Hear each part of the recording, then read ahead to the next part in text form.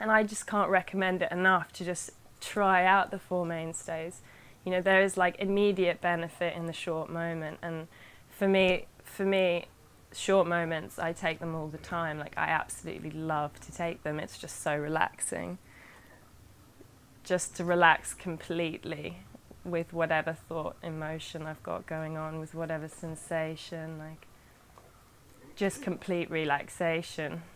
I love that. That's complete relaxation is my favorite thing. I mean, I think who doesn't want to be relaxed? And I, I didn't even really, th- I thought maybe I was relaxed, but I can see that I've been really, uh, yeah, I wasn't so relaxed with everything that was going on in my mind and my life at all, at all. Um, a lot of efforting to achieve and a lot of trying to hold on to positive experiences and run away from negative experiences or negative thoughts and emotions. Um, and I just feel so much better in myself to be able to just relax with everything that's going on. And I find great empowerment in that. And it kind of, when you think about it, doesn't really make sense that like relaxation, empowerment, but like, because we just so learn that like, we just have ideas about what empowerment is. We don't actually even really know what empowerment is until we get to see it for ourselves and we see it really and truly demonstrated in other people.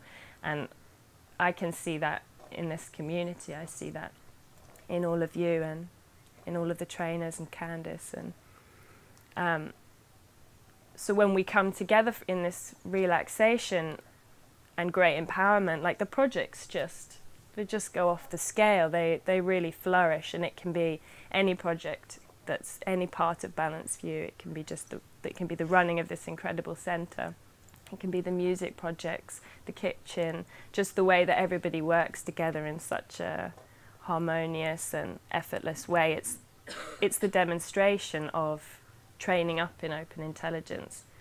And that has been so inspiring for me to be a part of and to see because it's the result. You know, you, it's great. When I, when I first, um, got like a minute, when I first um, came to the training, I didn't really have any idea what, what it was about or what was going to happen, and I just very naturally showed up, and something was very instinctive for me.